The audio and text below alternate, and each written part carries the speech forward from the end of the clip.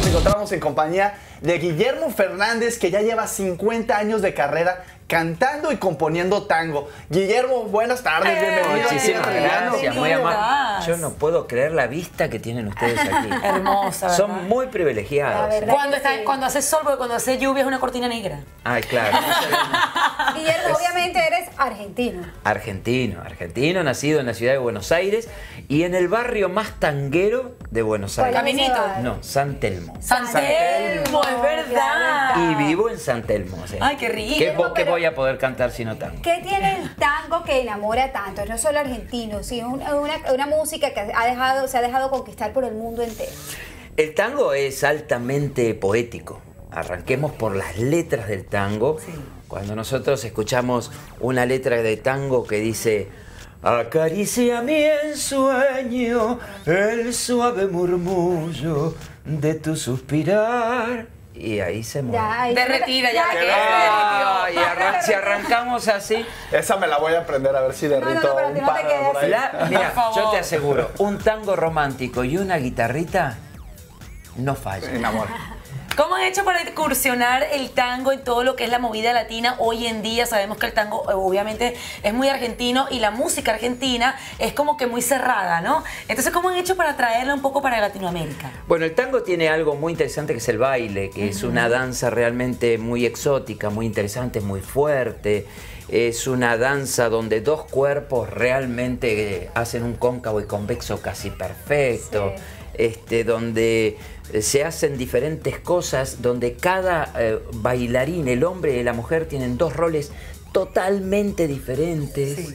Este, donde en un momento donde hay donde hay muchas confusiones de roles a veces, nosotros vemos, por ejemplo, el, el rol del macho y la hembra perfectamente definidos en el tango. En el Sí. tango. ¿No podría ser también ser como una obra de teatro? También como Totalmente. es muy teatral, Es una ¿no? obra de teatro, es un- un- una comedia dramática de tres minutos que empieza y termina. Si yo quiero aprender a bailar tango, ¿cuánto tiempo necesito? ¿Cuántas clases necesito para aprender a bailar tango? En cuatro o cinco lecciones empezás. en cuatro o cinco lecciones. Porque Hay vimos muy buenos maestros de tango aquí en Miami. en Miami. Y vimos al presidente Obama cuando estuvo de visita en Argentina intentando dar sus pasos de tango y no lo hizo nada mal. Bueno, no te digo, perdón, no te digo de Colombia. De eso quiero hablar. Colombia son de los mejores bailarines de tango del mundo. Wow. Eh, perdón, eh, hubo dos parejas colombianas campeones mundiales de tango en Argentina. Así y es que a eso es desde ya te digo. Colombia es un país amante de la música, pero el tango está entre los géneros favoritos de este país. Carlos Gardel murió en Medellín y ahí se le rinde tributo hasta hoy en día. ¿Por qué crees que el, el público colombiano a Colombia lo enamoró tanto el tango y Carlos Gardel? Yo creo que Carlos Gardel. Carlos Gardel le enamoró a, a todos los latinos en el año 1934-35.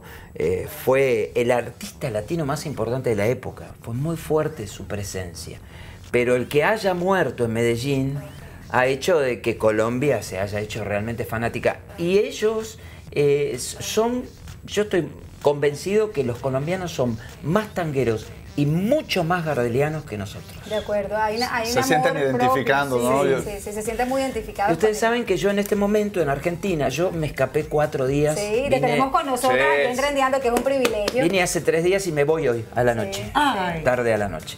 Este, y realmente me escapé porque estoy haciendo el musical de Gardel. que es histórico. Ay, sí. Nadie ha hecho eso y vamos a verlo a partir de cuándo, en qué va a consistir este musical. Este musical está yendo todos los fines de semana en el barrio de San Telmo. Obviamente. en Buenos Aires, en un teatro hermoso que se llama el Teatro Molière, que está en pleno corazón de San Telmo. Y estamos todos los fines de semana con localidades agotadas. Wow. Y vamos a poder ver eso en América Latina, Colombia, que es un público que le encantaría ver esa obra. En de este teatro. momento estamos, este, yo soy por productor del espectáculo junto con mis socios y estamos hablando con Colombia. Estamos hablando con Colombia. Guillermo, Bueno, ¿qué, qué es lo que, muy qué- atentos con eso. qué es lo que la gente va a ver en este, en este, este concierto? O sea, ¿qué, qué tiene diferente? El ¿Qué- musical de Gardel eh, eh, eh, habla de la vida y obra de Gardel desde los 19 años hasta su muerte. Lo que tiene esto son eh, datos que la gente, mucha gente no conoce. Por ejemplo, Sí, los colombianos, los colombianos saben todo de Gardel.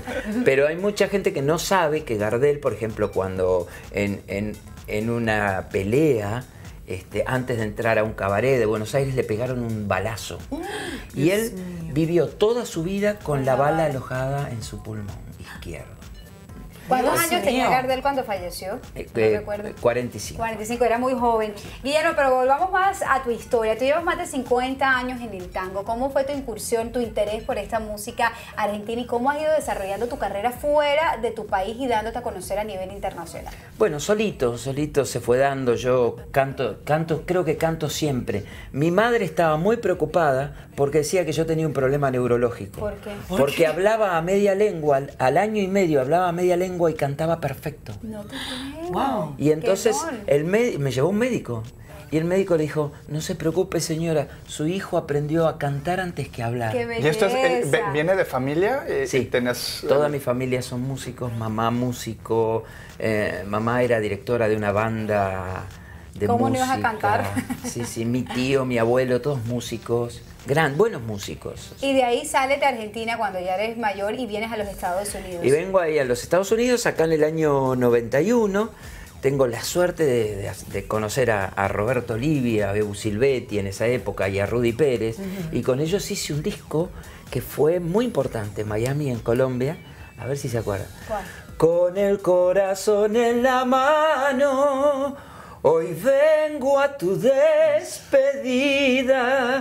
Te pido que te lo lleves o quítale aquí la vida. Eso, qué divino, que definitivamente. Es más, en Colombia, en Colombia en el año, creo, si no, si no me equivoco, 93 o 94, había una novela que se llamaba Con el corazón en la mano y tenía la Y tenía esa Y canción. tiene la canción. ¿Qué, qué, qué piensas tú de las colaboraciones que han hecho, la intervención del tango que han intentado hacer ahora a la música que estamos escuchando actualmente, que es la música urbana o música tecno? He escuchado, he tenido la, la- la oportunidad de usar ciertos tecno, electro, electro, Sí. este, Música electrotecno, electrónica. música electrónica.